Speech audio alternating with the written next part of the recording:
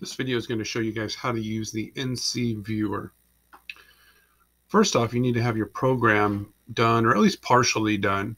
Uh, NC Viewer is actually a good place to build it so you can see the changes that you're making. Um, but you need to have some part of a program done, even if it's only the beginning block here. First thing we need to do is go ahead and open up a new tab and just Google search NC uh, Viewer. Uh, if you spell it even close, it's the first thing that pops up, ncviewer.com. Go ahead and open that up. And you're going to see kind of this CAD environment and then all this stuff on the left. Um, you can read this stuff for updates, but I don't read it. I just click on this new file up on the top left and I get myself a blank screen here. Then what I can do is do a really, really simple copy and paste. I'm going to copy everything out of my um, working file over here and paste it. I use the control V, control C, control V method usually, but you could right click, uh, I believe too. Once you've pasted this in here, you come down here to this blue button uh, that says plot, and that is going to show you everything that you've written in code.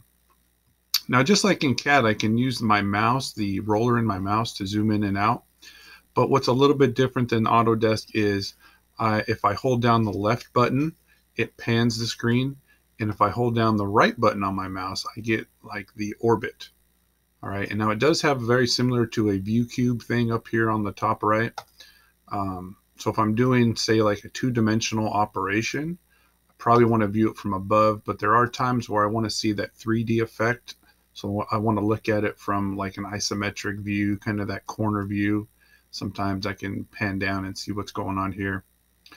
Um, now, one thing to keep in mind is while we're used to just seeing the two-dimensional version, um, panning to the side lets me see the, the Z, right? The Z is essentially the up and down, the um, third dimension that makes it above or below um, our two-dimensional paper that we would otherwise be drawing on.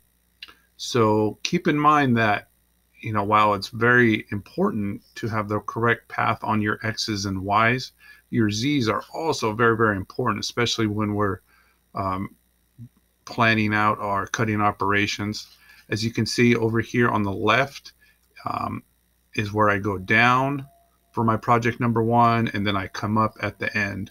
There are times like if you were doing letters, you would have to go um, down to cut a letter, then come up, go to the next letter, go down again.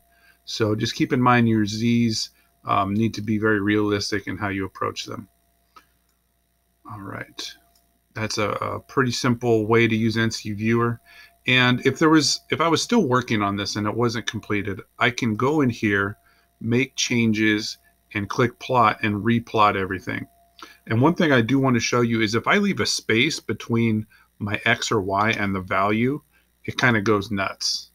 It doesn't like that. So make sure there's no spaces between your X, Y, or Z and the value that you're inputting.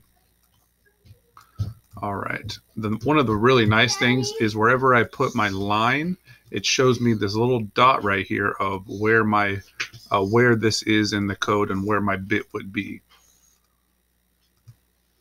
And that's a pretty good overview of NC Viewer. If you have any questions, as always, let me know.